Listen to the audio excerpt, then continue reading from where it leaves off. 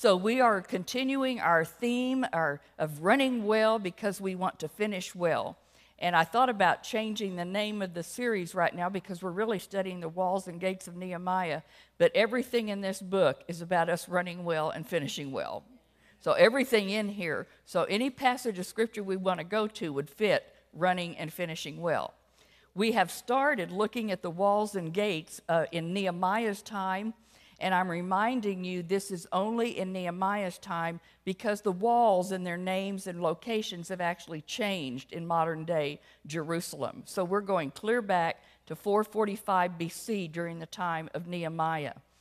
We have had two lessons on the sheep gate, and so now we think we're ready to go to gate number two. But if we look down that wall and if we look in chapter 3 of Nehemiah, before we ever can get to gate 2, there are two towers of fortification that we must have in our life before we go on to gate 2. So today we're going to look at these towers, and this is pretty new information because I just kind of glazed over those uh, two towers the first time I did this about eight years ago. So we're going to dig a little bit more into the towers of fortification. Now, if you remember from lesson number one, we know that in Nehemiah's time in chapter 3, he lists 10 different gates for us. We've divided them into several categories, and these first three gates are called priority. These gates have to be in place in our lives before we move on to the rest of the gates. It's the sheep gate, the fish gate, and the old gate. And so we're, we're establishing those in our lives, getting them in place so we can restore everything else effectively. I had given you a map a couple of weeks ago, and I have it up here. And we noticed that everything, where does our journey begin? At the sheep gate. Where does it end? At the sheep gate because we start with Jesus Christ and we're going to end with him, the inspection gate, the judgment seat of Christ. Our whole journey starts with Jesus and we go all the way around in a counterclockwise direction and we end up standing before Jesus Christ. So uh, we're going to come full circle. Remember the specific thing about the sheep gate that's different from the others there are no bars and there's no locks on it. And the reason is because the way of salvation is always open. It's always open. Uh, it tells us in uh, Romans 10 13, whosoever will call upon the name of the Lord shall be saved. And it tells us in John 1 9 that God puts light on every man that comes into the world. So I believe light is shed, whether people respond or not. You know, uh, God knows who is going to respond and who is not. Now, but it's always available to the sinner. We're going to start in Jeremiah 31 today, verse 38, with a prophecy from Jeremiah. And he says, The days are coming, declares the Lord God. This city, what city? Jerusalem. It will be rebuilt for me from the tower of Hananel to the corner gate. So that tower is very important. And we will see that 150 years later, that prophecy is now going to be fulfilled when we go to Nehemiah chapter 3, verse 1. Eliashib, who is our what? He's the high priest, so he's a type of Jesus Christ, who is our high priest. He rose up with his brethren, the priest, and they built the sheep gate. Notice they sanctified it, they set up the doors of it, even to the Tower of Meah, which is also called the Tower of the Hundred. And look, they're going to go clear to the Tower of Hananel, which was mentioned in Jeremiah's prophecy. So we have these two towers that are going to be in view. Now, if you look up here, you see that in the upper right corner is a picture of the sheep gate. You should recognize it. Now, when I apply the blood of Jesus Christ, because he is the good shepherd, right? He's the lamb that took away the sin of the world and shed his blood. And so every time the sheep went in, because there were millions of sheep that were sacrificed. So every time a sheep went in, we know it went in that door of the sheep gate and it went to the altar and it was consumed, right? It was offered as a burnt offering, and that poor little sheep gave its life, but it never got to come out. We've talked about this. You and I, when we accept Jesus Christ, do we become one of his sheep? Yes, but we go in and we lay ourselves on the altar of burnt offering. We're supposed to offer ourselves that living sacrifice, but you and I get to come up and we get to come out because we have a new life, but it's the life of Jesus Christ that's supposed to be lived in us, right? So I'm starting my journey. This is where I start at the sheep gate. And I'm starting my pilgrim journey, and you notice I've uh, enhanced uh, just the top of the map and we come from the sheep gate, and we have two towers in our way before we ever get to the fish gate. So we're going to stop and look at these two and see why they're there in this position.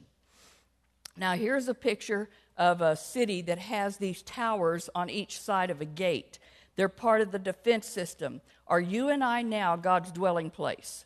Yes. So the, they were close to the citadel where the soldiers were guarding the temple. Is the temple where God dwelt, his presence? Yes. So you have to have towers of fortification close to God's dwelling place. Now, this became so interesting to me because I never realized it.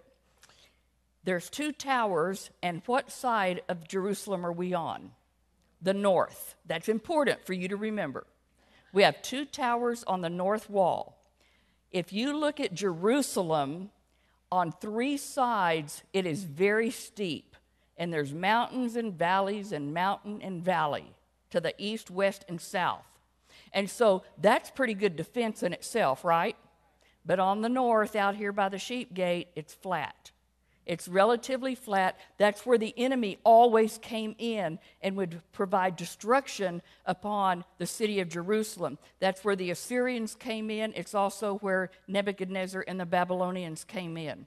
So the north is very vulnerable, but that's where I start my journey with Christ. Am I pretty vulnerable?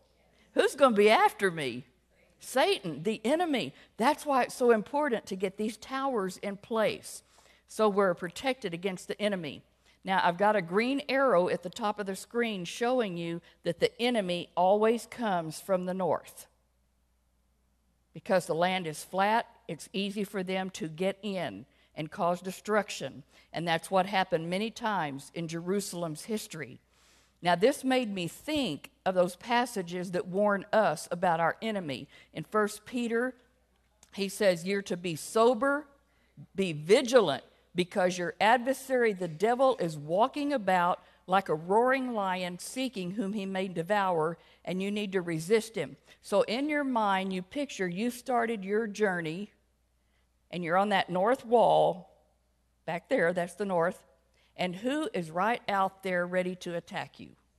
Satan, the enemy. Okay.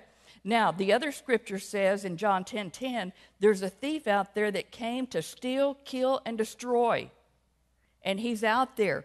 In the Hebrew, they talk about the term out of the north, and it means hidden. He's hidden out of the north.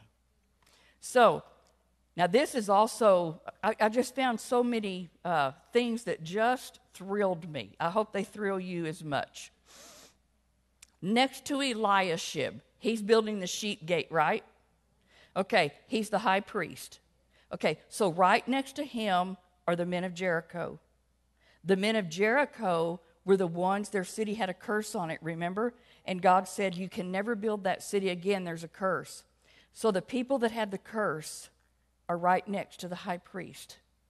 And so they are allowed. Who took the curse for us? Jesus Christ. He bore our curse. So we have the one representing Jesus Christ, and right next to him are the people that bore the curse, that had the curse on them. Now, next to him were Zaccur and then the son of Imri built.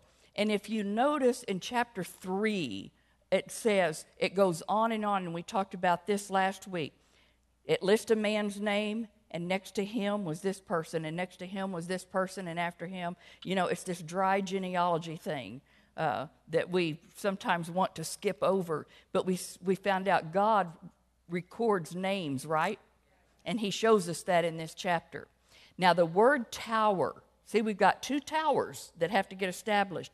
The word tower is from the Hebrew, Hebrew, Hebrew word megdal, and it's derived from the word gadal, and it means grow.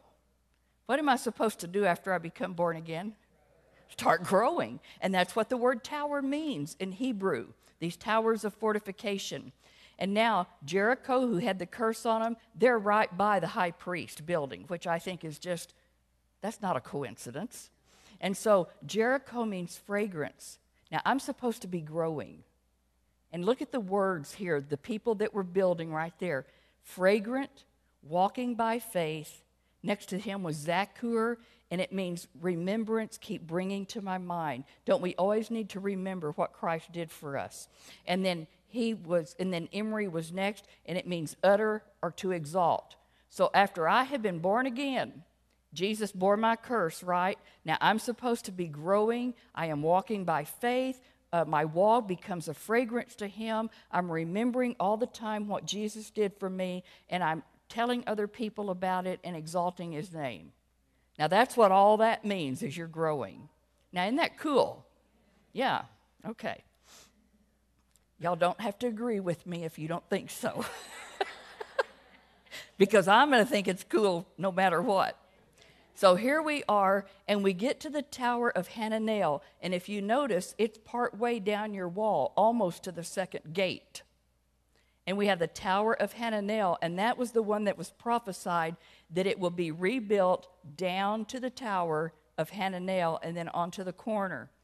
And uh, Hananel means God is gracious. and I'm receiving God's favor. When I'm growing and my walk is like it's supposed to be, God's favor, receive, and He's gracious. Now, this is a very significant tower because God had prophesied through Jeremiah the prophet, it will be erected again. And that tower means why? Because God is gracious and because it will, he, the people will receive God's favor. Now, so this was not an ordinary construction site. Hey, let's just put this tower out here. No, it was an act of dedication to God and they were fulfilling prophecy when they actually built that tower because God had ordained that that tower would be rebuilt. And it's mentioned specifically in Jeremiah's prophecy. It happened 150 years later. Really neat. Now, in God's plan for redemption, Jesus Christ, and this was, this was set up before the foundation of the world, right? Okay. Jesus Christ was going to offer himself in absolute submission to the Father's will.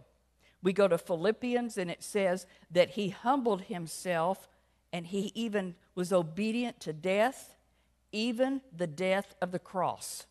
Right? Now, let's put God's plan for sanctification. That's for you and me, right? Now, does he want absolute submission from us to his will? Yes. And are we to humble ourselves before Him? Are we to be obedient to the point of death to our old man and death to ourself, our passion, and the works of the flesh? Same thing. Is Christ the example? Yes, and we are to follow. So in Romans 12 1, it says, I beseech you, therefore, brethren, by the mercies of God, that you present yourselves what? A living sacrifice that will be holy and acceptable unto God, it's only our reasonable service. Look at the very beginning of that. I beseech you, how? The mercies of God. He's been going on in Romans telling them all about God's mercy, and He's no condemnation to those that, that believe in Him. And He has brought them to this wonderful place. Do you see the mercies of God on you? Now, therefore, you offer yourself. That's only your reasonable service. And he says, and you're not to be conformed to this world. I want you to be transformed. How? This is what will renew my mind. This is the only thing that will renew my mind. And then what happens when you do this? You, are you showing forth his good, perfect, acceptable will of God? Yes. Now, this was also very interesting. They had to, they took the sheep and they were a whole burnt offering.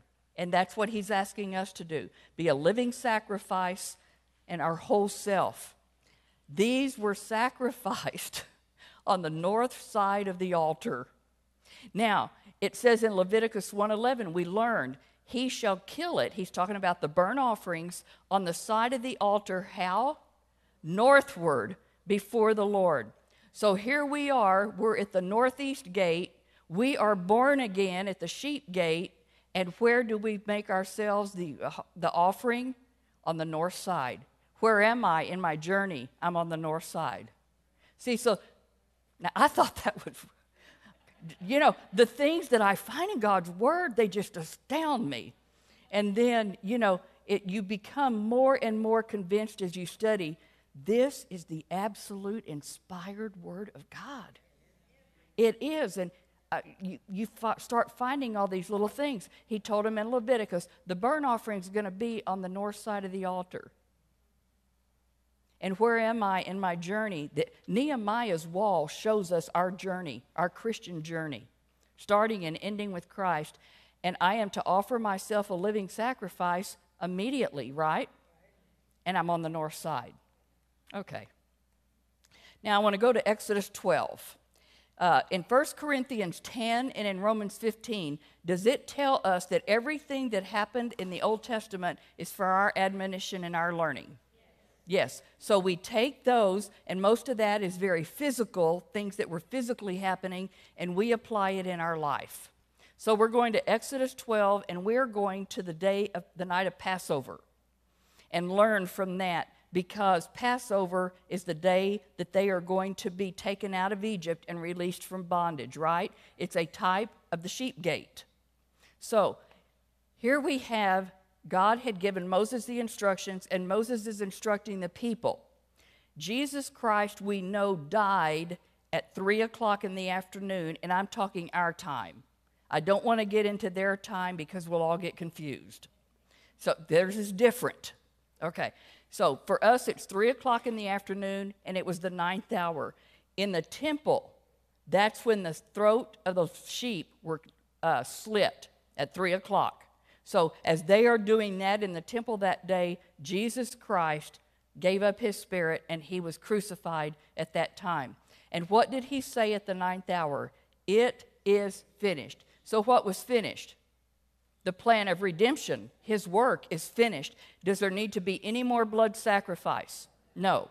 But if you look at the picture on the left, here's what Moses was teaching the people.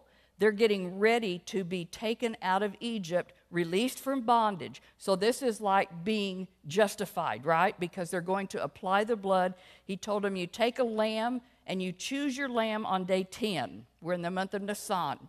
And he said, Choose your lamb on day 10. You're going to look at it for four days. And you're going to make sure it's spotless without blemish. And then on day 14, he told them they are going to slit the lamb of, the throat of the lamb and they are going to take hyssop branches and they are going to apply the blood to the doorpost and lintels of their home, right, of their dwelling. And then when the angel would come that night, the death angel, he would pass over them because the blood had been applied, right? We all understand that. So you can see as the man is doing that, he is giving a picture of the ultimate Lamb of God and what will happen in the, in the future. Now, they, Jesus died at 3 o'clock, and according to them, he had to be off of the cross and buried before 6 p.m. because for them, a new day was starting. Okay? And so now it's going to be Nisan 15, and they immediately start the Feast of Unleavened Bread. All right? And what is the Feast of Unleavened Bread about? Already, you now start to get the sin out of your life. That's the process of sanctification, right? It's not going to be 50 years later, Francine. It is going to be immediately. And so they're going to have the Feast of Unleavened Bread, and we start getting the sin out. And I mean, it was almost immediately. Right? Okay. So I'm learning discipleship has to follow the sheep gate. And I think that's where many churches fall down. A lot of churches I've been in, we get people that are born again and saved, but then a lot of the teaching stops, and we don't teach them now how to grow in the Spirit. We don't teach them that so much. And so it kind of falls by the wayside. Sanctification in my life was to begin immediately. Now, if we look at Passover, the emphasis wasn't just, oh, God's judgment is passing over you. It was in the death angel being uh, passing over. They were now told, you've got to take your lamb and you're going to prepare it. You're going to eat the flesh, and you've got to eat that whole lamb, and you're going to have unleavened bread, and you've got to use bitter herbs. That was the instructions for them that night. This is so they can be inwardly supplied with everything they need now to fulfill God's purpose in their life. Is He going to take them out of Egypt? Yes, and He's getting ready to take them to make a covenant with them at Mount Sinai and then on to the promised land. But they need to be strengthened inwardly. So, eating the lamb. Now, who is the lamb? Jesus Christ. Is He the bread of life? Yes. Are we supposed to eat it totally? He is the Word. We eat it all. That's, that's what that significance is. And so they're ready to begin their pilgrim journey uh, after the Exodus. So we have some instructions that we can take that Moses gave them and we'll apply it in our life.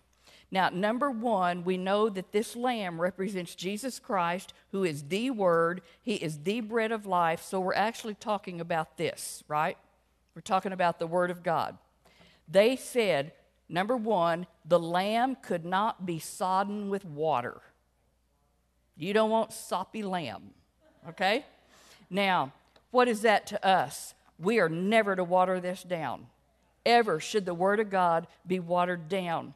David Campbell says a watered down gospel can get a lot of people into your pew, but it won't get anybody to the cross. That's right. And then we have a recipe for theological jello. And he says, You can take God's perfect word here, unchanging, infallible word of God, start mixing a little bit of man's thoughts and opinions in there because we need to make it a little more palatable to people. Then you're standing on theological jello, and that's not worth anything.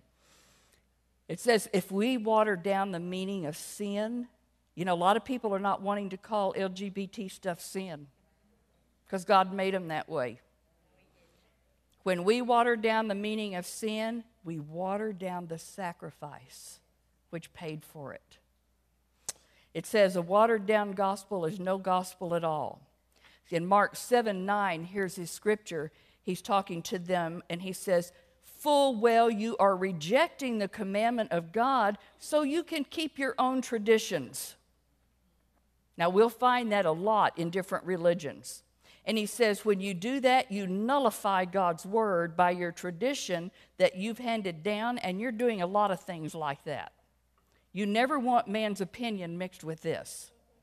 You don't follow some man and his theology and his teachings. Go to the Word of God and see if what he says is here. And if it's not, then you disregard it. So here we have the traditions of men. We have many churches, many denominations, and we have a religion, right? A lot of people following it. I have people that have told me uh, because they're dealing with LGBT in their family or grandchildren, and their church is against it. And so, in order to feel better, they go find a church that will affirm it. And you'll find them. But church after church, denomination after denomination, walking always in the commandments of men, men putting their thoughts into this. And so, what happens? they're all going to die and probably end up in hell when you start putting man's opinions in there. 2 Timothy 3 5 says they have a form of godliness, but they deny the, par- the power thereof. And what is my command? Turn away. So, people that are going to these churches to affirm whatever they want to be, or whatever they want to do, or whatever's going on in their family, when they do that, they are disobeying this. I'm commanded to turn away from them. You want to be in a church that is totally preaching God's word.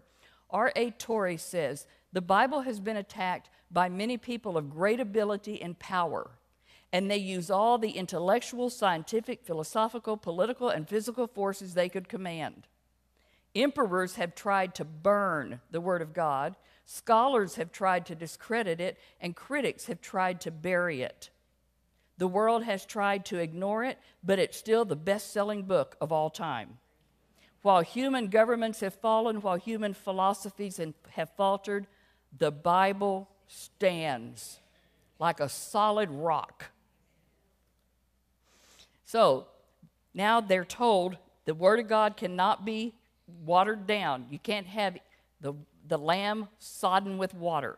Number two, they have to eat the whole lamb that night the head, the legs, and all the inward parts. Okay. I'm glad we are talking about this and not the literal lamb. okay. We are supposed to feast on the Word of God in its entirety. This is not a cafeteria. You've heard that. You know, I can't pick and choose. I have to study the whole counsel of God, the complete Word. In first, in 1 Corinthians 1.24, it says, Unto them which are called, both Jews and Greeks, so we're talking to all of us, Christ is the power of God and he is the wisdom of God. He's the wisdom of God. We are to feed on the mind of Jesus Christ. And then we go on to Philippians and it says, Let this mind, here's an imperative command, let this mind be in you, which was also in Christ Jesus. And in 1 Corinthians 2, it says, We have the mind of Christ. Now, that is a statement that ought to just blow your mind.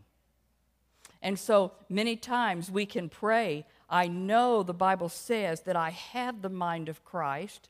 He is wisdom, He is the fullness of the Godhead bodily, and I'm supposed to let that mind be in me.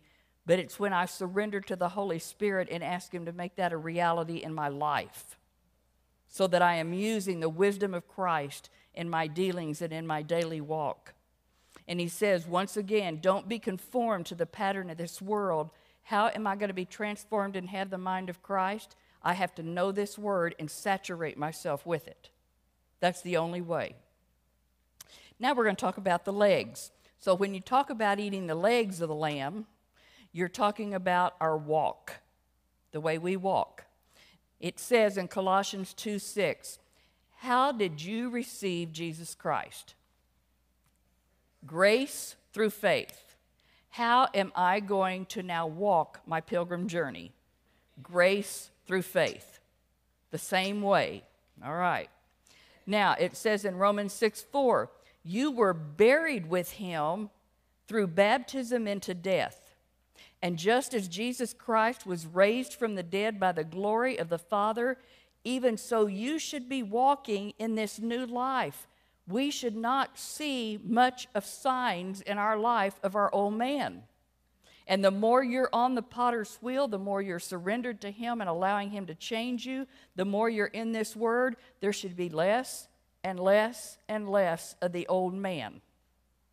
There should be. Now, we will never get to a state where, there, where He doesn't show up some, but we should be sinning less and less, and the fruit of the Spirit should be more evident in our life as we grow and walk. Peter tells us grow in grace and grow in the knowledge of Jesus Christ, our Savior. It says in Romans 8 1, there is therefore now no condemnation to those who are in Christ Jesus, who do not walk according to the flesh, but they're walking how? In the Spirit. Learning to walk in the Spirit is crucial for your sanctification. 2 Corinthians 5 7 says, I'm walking by faith, not by sight. So, and then uh, after three chapters in Ephesians, Paul is telling them all about their wonderful spiritual inheritance. Chapter 4, verse 1, here's his command walk worthy of your calling. And you're thinking, how can I do that? How can I walk worthy of my calling? Well, I go back to Joshua. And in Joshua chapter 3, verse 3 and 4, they're getting ready to go across the Jordan River and listen to his instructions about their walk. When you see the ark of the covenant of the Lord your God, is that God's presence? That's where he dwelt. And you see the priest of the Levites bearing that ark, you remove from where you are and you go after it. So we're going after the presence of God. And he goes on to say, Don't come near unto it, so you can know the way by which you must go. Didn't he tell them to keep a distance so they can see and follow? And here's the key because you have never been this way before. Have we ever walked that Christian walk? We hadn't done it before. So we are to look to Him only and let Him lead, and we follow Him. R.A. Torrey says, You may talk about power in your life, but if you neglect the one book that God has given you as the one instrument through which He imparts and exercises His power, you will never have the power of God in your life. This is the key. And many of us neglect it. We don't want to spend time in it. We don't want to study it. It is a discipline, but this is where the power comes from. He says, unless you keep in constant and close association with this one book, the Bible, you will not have the power of the Holy Spirit in your life. He says, and if you ever had the power, you will not maintain it except by the daily, earnest, intent study of this book. So, is it a choice that we each have to make? It is a choice. Do some people, when we know examples, are there people who seem to walk by faith and in the power of the Holy Spirit for a, a, a long time, and then things come into their life and they, beget, they become neglectful? And can they lose that power in their life? And they're not walking in the Spirit like they were daily earnest. R.A. Torrey goes on to say 99 Christians in every 100 are merely playing at Bible study. Mercy. Therefore, 99 Christians in every 100 are just mere weaklings. Those are his words, not mine. When they could be a giant, both in their Christian life and in their service. That's a quote from Adrian Rogers the other day. Now, we're to feast on the Word of God. Is He my life supply so that God's purpose can be fulfilled in me to conform me to the image of Jesus Christ? This book, under the power of the Holy Spirit, is the only way that will take place. I have to feed on Jesus Christ for strength in my daily pilgrim life. Every day it's necessary. He says, Stay hungry. Stay hungry for this. And if you're not, I told you about 15 years ago, I prayed that God would give me a, an insatiable appetite for this word. Now, will He answer that prayer? Yeah, because it's His will. Yeah, so if you want an insatiable appetite, you just pray for it. And He will put it in your heart to where this is what you want to do much of your, much of your time. We appropriate the spiritual nourishment of Jesus Christ and then we grow in grace and knowledge, and that's what Peter told us to do grow in grace and in knowledge.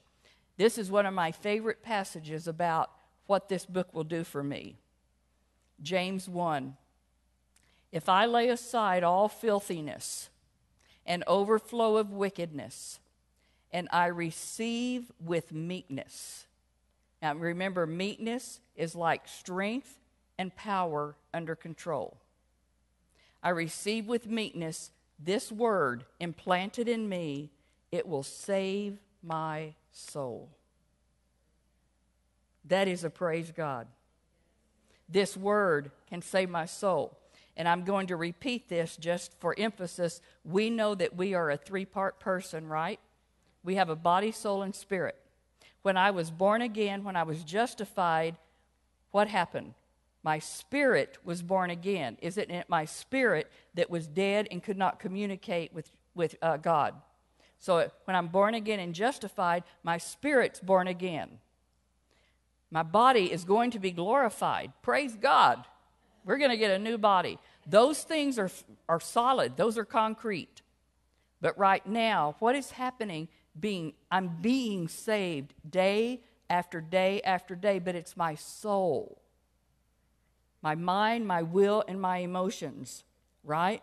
So that's the part of me that is being saved day by day. I have a promise that if I receive this with meekness, the implanted word in my heart, it will save my soul.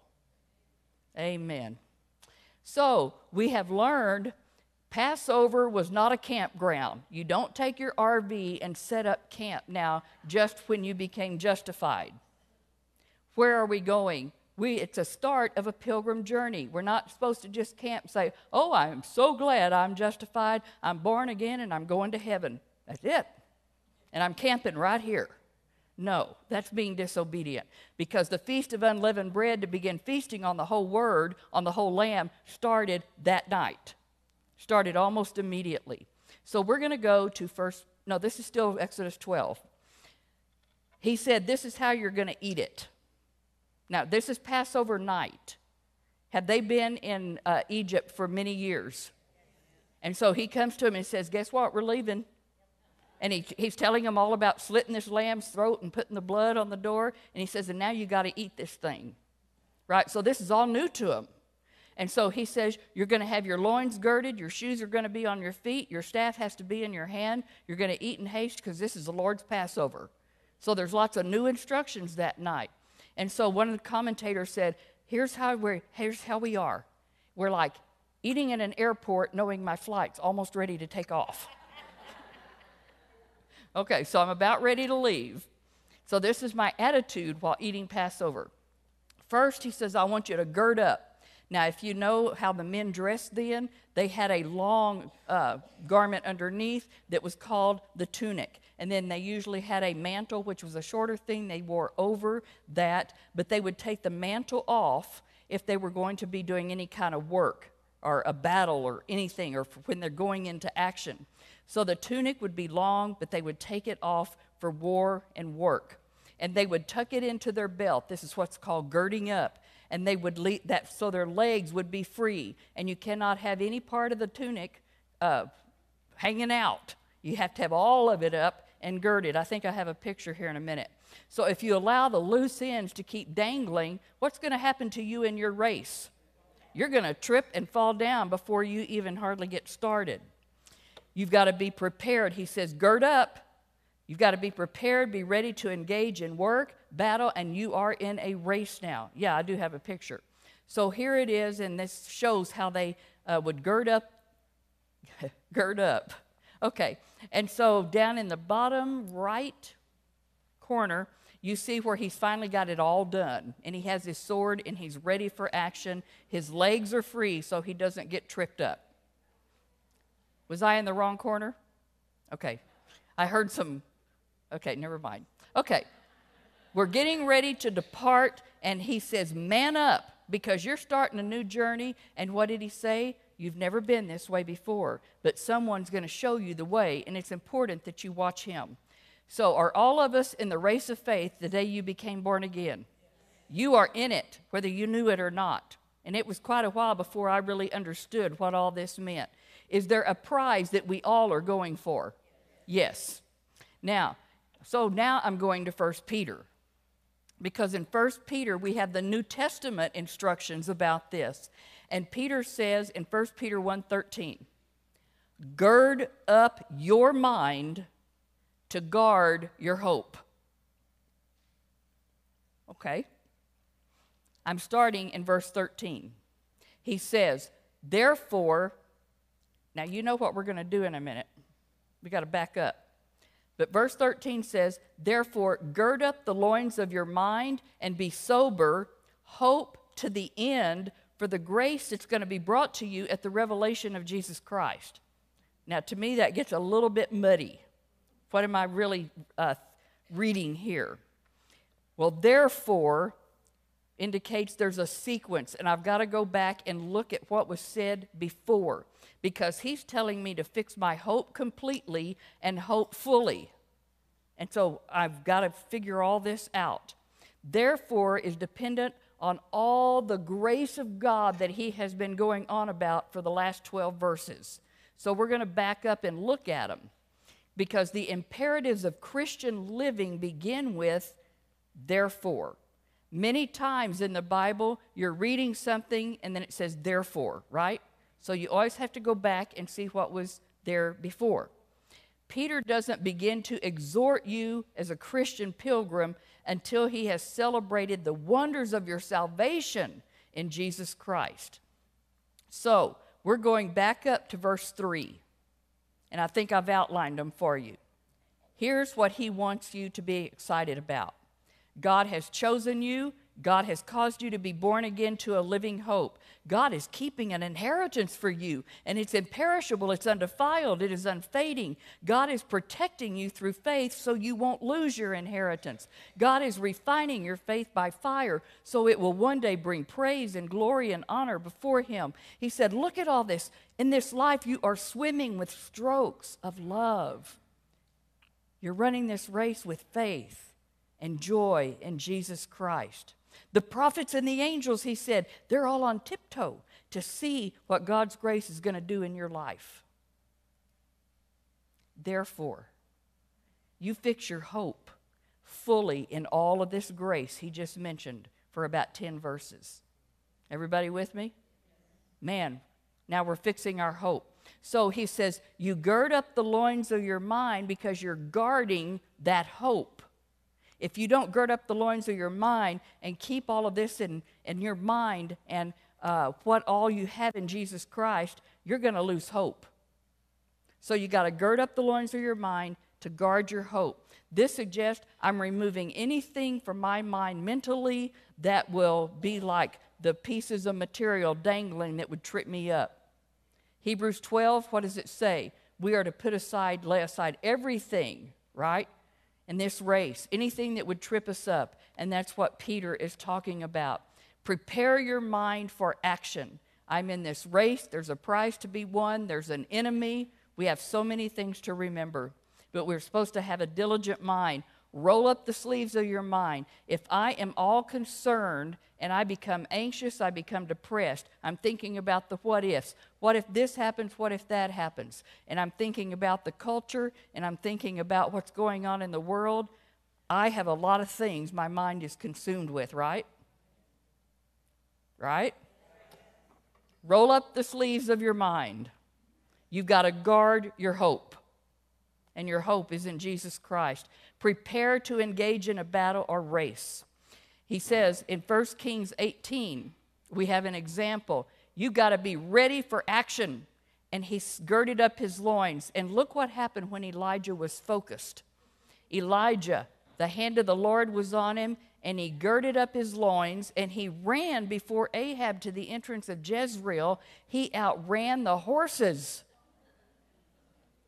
His, he had girded up, and he was ready because the hand of the Lord was upon him. Then Elisha said to Gehazi, who was his servant, Tuck your cloak into your belt, take my staff in your hand, and run. If you meet anyone, don't greet them. If they greet you, don't answer them, and get there and lay my staff on that boy's face.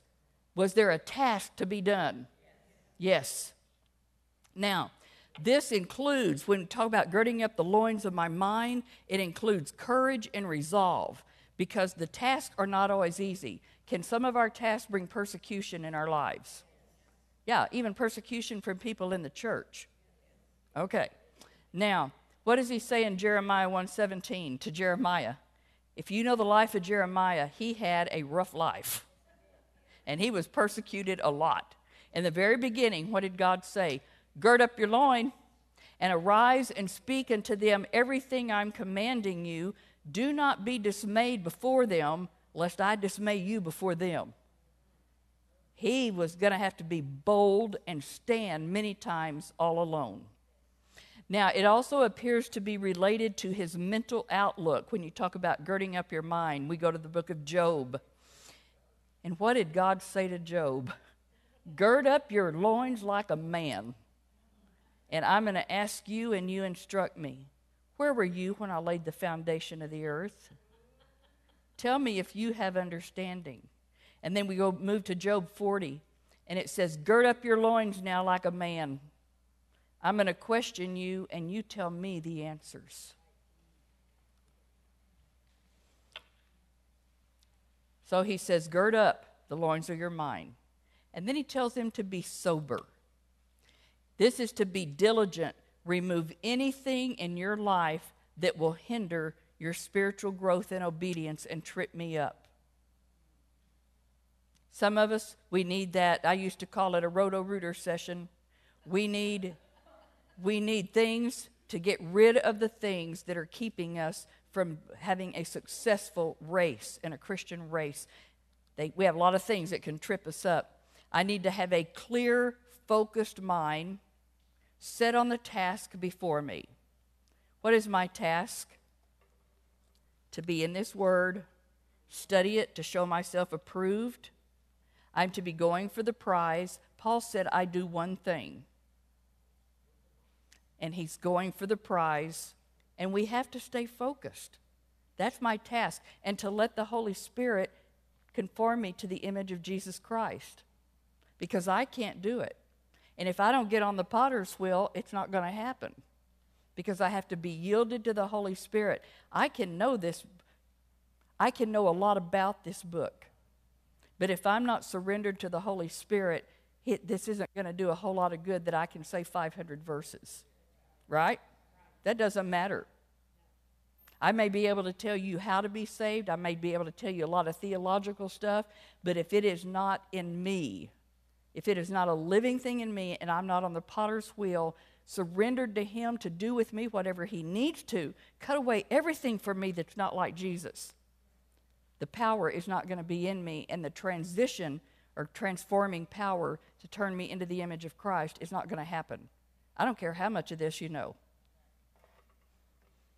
Set me on the task before me and not to become numb with intoxicating influences. In uh, Ephesians 5, I think it's 18, he says, Do not be drunk with wine wherein is excess, but be filled with the Holy Spirit. What does that mean? If I'm going to be controlled by anything, I'm to be controlled by the Holy Spirit. Nothing else is to be controlling me at all, only the Holy Spirit. Not my old man, for sure. Now, in Luke 12, he says, Let your loins be girded about and your lamps burning and waiting I'm supposed to be expecting his return. He says, Be ready also, because the Son of Man will come for you at an hour when you think not. And I heard, I think it was it was some preacher the other day. Many of us are saying, Boy, I wish Jesus would come. Well, but are we ready? yeah. It, it cannot be I want an escape thing. Because what is what is right around the corner when Jesus comes for you and me? The judgment seat of Christ. Remember, judgment begins at the house of the Lord, and you and I have a judgment, not for our sin. Don't ever think that. This is for his church, the believers. And that is, we're going to be held accountable for our life. So, yes, I'm, I'm anxious for him to come, but it cannot be an escape thing just because I want out of this culture and this world. Because I also need to be watching and waiting and be ready to stand before Him. Now, what does Paul tell, tell us in Titus? You are to be looking for that blessed hope and the glorious appearing of your great God and Savior, Jesus Christ. I am not to be looking for the Antichrist. Although it's interesting to study and you know see what's going on, but that's not what I'm looking for. I am looking for the glorious appearing of Jesus Christ. Now, if I am looking for his return, that is a great motivation for me to be obedient right now. Because I think there's a parable in there somewhere, I'm not sure where, where the, the guy is, uh, he is beating his servant and everything because he says, Well, my master won't be coming till out there. And so he's living like he wants to because he thinks he's not coming till then. No, our Savior is coming for us, for his bride, his church, at any time. And it is a signless event. And it's very different from the second coming at the uh, end of the seven year tribulation period. So, the conclusion I came to if I will gird up the loin of my mind, what will it correct in me and in my mind?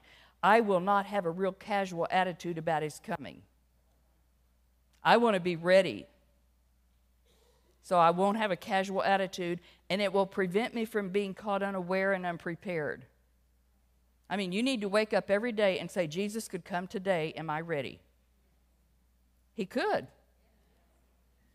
Now, so he says, You fix your hope fully in God's grace. So, what's the object of my hope? The grace of God. That is our, the, our object of hope. Fix your hope fully on the grace that will be brought to you at the revelation of Jesus Christ. When He comes for us, does He say His rewards with Him? Okay, letter B. Your loins girded, and now your shoes have to be on your feet, is what He told them in Exodus 12. This is about our walk with God, it's a journey. Watchman Nee says you've got to prepare to take this journey. It is a sojourning way. I am to keep walking, keep moving, making progress. I'm not to settle down. Now, once the blood was applied and the flesh was eaten, did he tell them, You are now a sojourner and you're going to leave Egypt? That's exactly what he told them. The blood of the Lamb is on the doorpost of my heart now, and am I on a pilgrim journey also? Yes, and I am headed for the promised land, not the promised land, sorry. I am headed for heaven and for my heavenly dwelling place. I'm a, my citizenship is in heaven. So he says, if you're born again, you cannot stay in Egypt. Remember, even when they got in the wilderness and they were whining and they wanted to go back to Egypt, and he says, You will never see this place again. You cannot go back. He would not let them. So let's look in Acts 12. It says, How does the Lord free us from bondage? He says, Behold, an angel of the Lord stood by him. We're talking about Peter. And a light shone in the prison, and he struck Peter on the side, and he said, Wake up, get up quickly. And the chains fell off his hands. And here's the angel's instructions to Peter Gird yourself, put on your sandals, cast your garment about thee, and follow me. See, he's getting ready to go on a journey, and you see this all through the Bible. Gird up, put on your shoes, follow me. So Peter's about to take this journey. You and I, we're about to take a journey. It says, Our feet are to be shod with the preparation of the gospel of peace. So we are to be prepared. Uh, in this, even in Exodus, you see him like putting on the armor. They're putting on the armor, getting ready for their journey, which we see in Ephesians with Paul. Now, remember those hobnail boots that the Roman soldiers wore? It says they were to face the enemy with a firm footed stability to be prompt in the readiness of the gospel of peace. When, you, when it says your feet are to be shod, it means to bind under yourself, called to action. You're called to action on this journey. Now, you and I will never be successful in spiritual warfare, those battles, if we go out barefooted. We will not be successful. So we're to be prepared, this gospel of peace, to have peace with God. When did I get peace with God? Salvation, thank you, justification. But do I, did I also get the peace of God? The peace of God, I believe, comes with sanctification when you're yielded to Him. And He will give that peace in all circumstances. Because many people have been justified, but when the trials and tribulations come, what happens? They fall apart. Where's their peace? The peace is after you're on the potter's wheel and you are surrendered, and then he will give you that peace of God. So, this peace is like those hobnailed boots that the soldiers wore so they could stand firm. I know all of you have had trials in your life. Some of us have experienced really deep, dark trials. Without the peace of God in your life, you will not be able to weather the storm. You've got to have on those, those uh, gospel shoes, they call them, the gospel of peace and the peace with God to make you be able to stand firm whatever comes in your life. These, these peace bringing shoes, you'll have power in warfare. Because I tell you, spiritual warfare can be horrific. And so you'll have power in that. And it's a peace that will prepare your heart for the journey no matter what God allows in your life. Now, if I have a troubled heart, now I'm born again, but my heart doesn't have the peace of God. I cannot focus on my task because so much of my energy is going to be taken up in steadying or quieting myself. Because what happens? Something major comes into my life, some crisis, and what's happening to me? I'm in anxiety. I'm fearful. I'm going into depression. Maybe my blood pressure, something happens with it. All of these kind of things can were unsteady. The anxiety level. And then we're out to the doctor trying to find something for our anxiety. When I got in this word and I surrendered to him, I didn't need anything outside of this because he gave me a peace that passed all understanding, even when Laura was in the depths of what she was doing. Here's where your peace comes on that potter's wheel, surrender to the Holy Spirit, and let Him give you that peace that passes all understanding. It's available to you if you're His child. Now, they say the steam locomotive is a very imperfect machine because it wastes more power than it utilizes. So many of us possess the power. Is that peace of God available for every believer? It's ours. It's ours all the time. And we possess it, but we do not rest in the peace and tranquility of it. I think many people like to sit and be anxious worry about everything. What the what ifs. That is not necessary in our life as a believer. They have a failure to use the power of the Holy Spirit. And that's what I did for, for much of my life because I didn't really understand it. And you have that power, and it's yours, but it's only through your surrender and asking the Holy Spirit to appropriate it in your life that it happens. So it's like you have all this wonderful stuff. But unless you surrender to the Holy Spirit, it's going to sit there waiting, waiting for you to ask Him to appropriate it in your life and it become a reality in your life. That we're told to let the peace of Christ rule my heart. That's what I want. And if you don't have it, pray. He will give it to you. Now, He'll ask you to get on the potter's wheel and then that peace will be yours. But it makes me ready for warfare and duty so I can become steadfast and I can become unmovable. And if I've got that troubled heart, I'm going to be tumbled over. Another crisis in my life, and I'm tumbled over.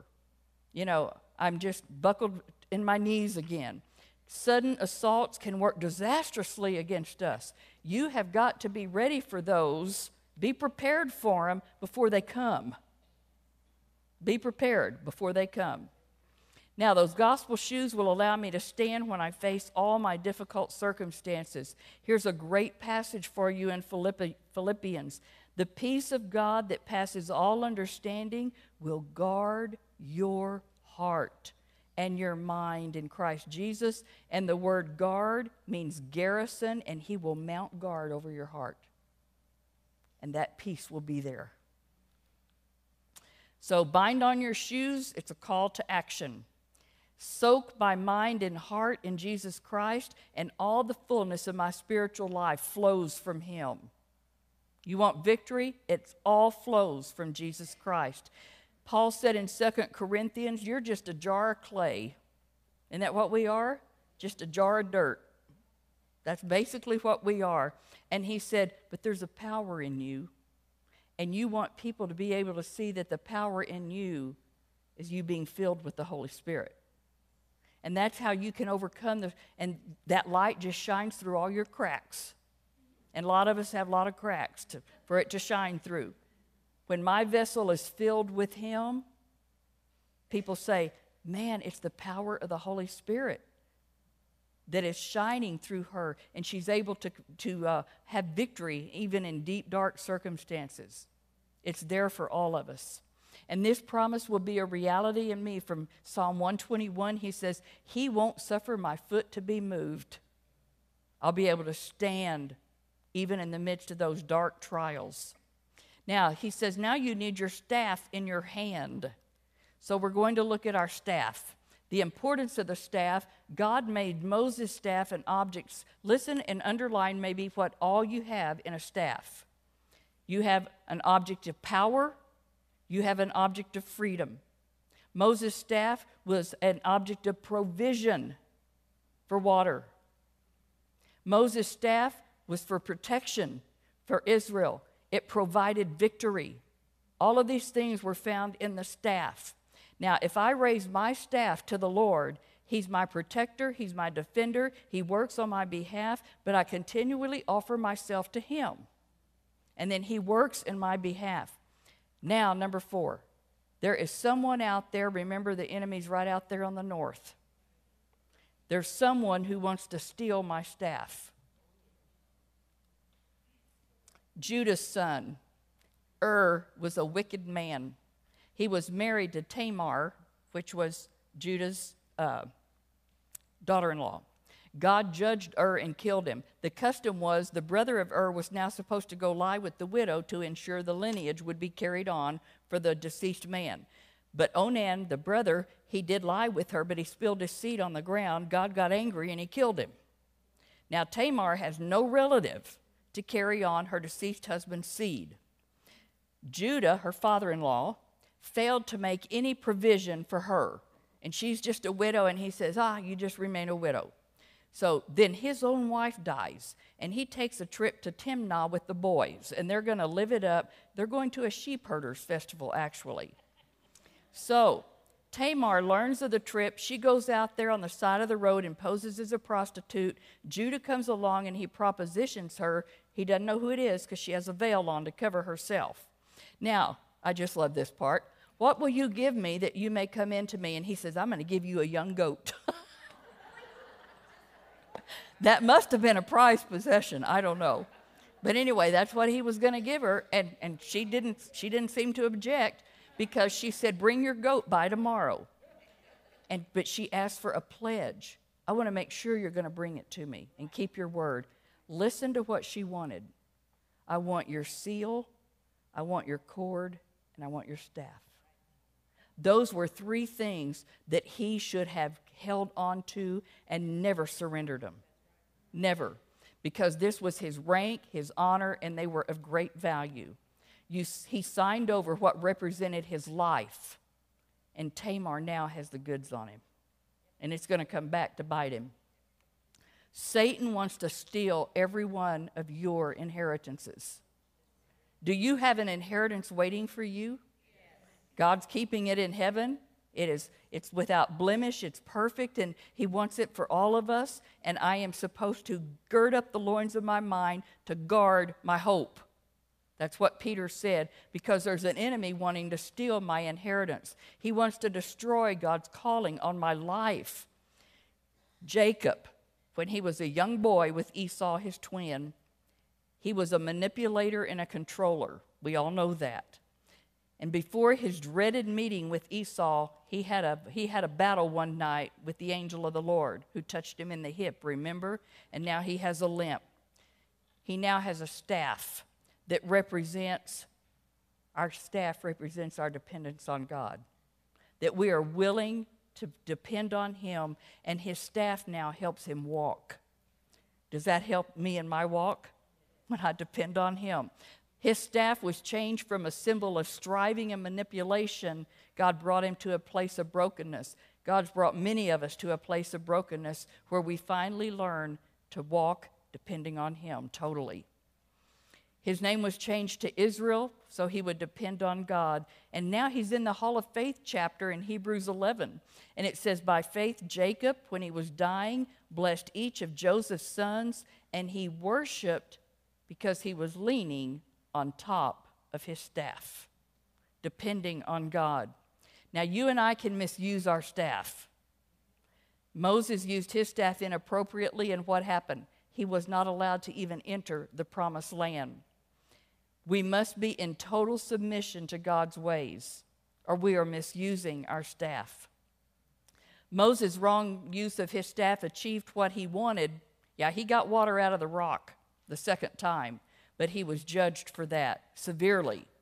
So if I use my staff in a way that God never designed for me, I'm only going to be achieving works of my flesh.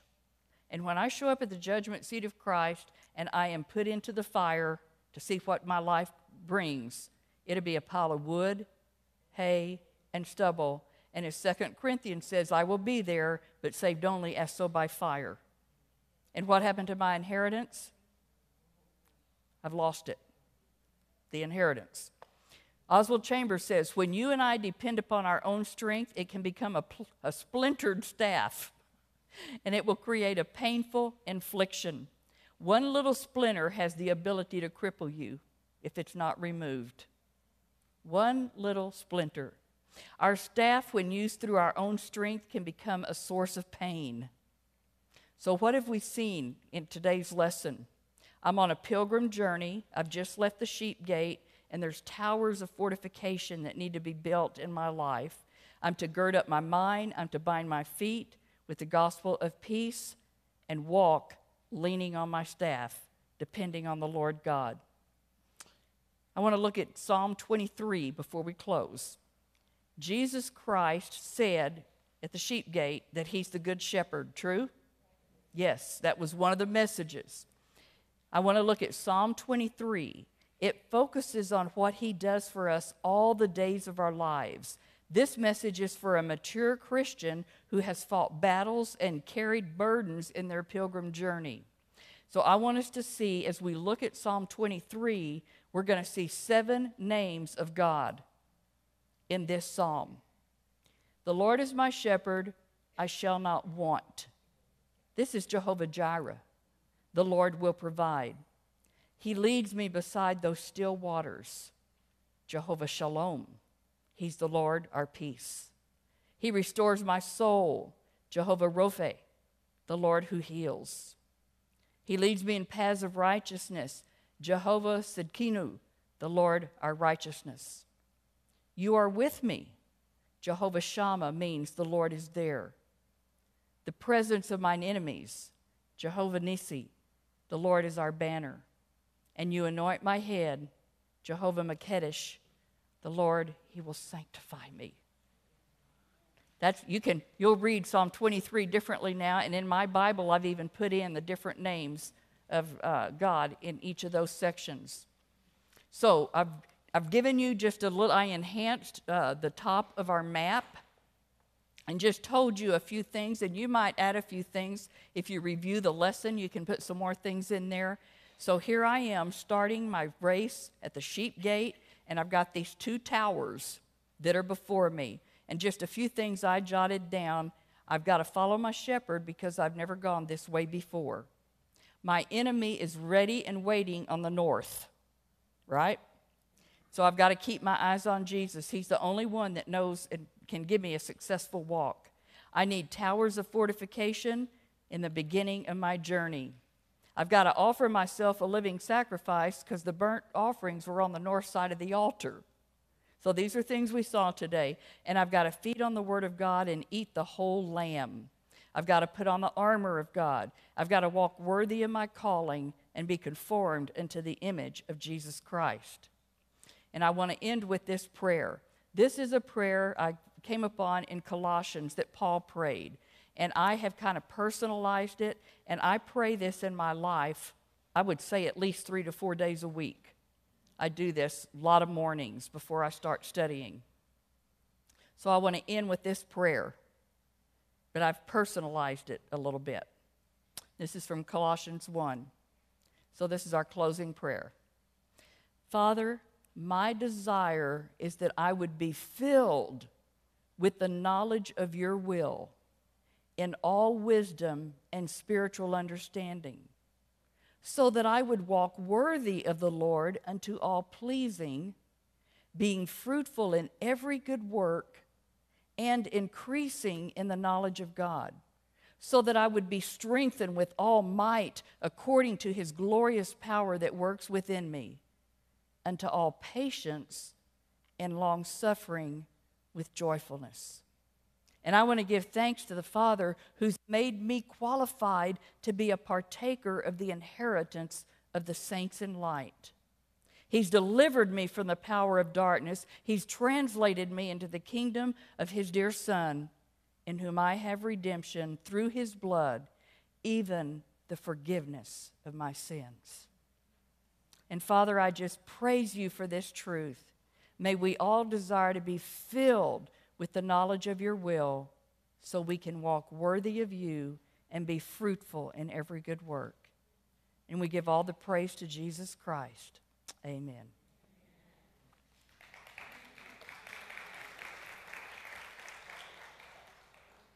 Now, next week, the plan is to go to the fish gate. Maybe we'll make it.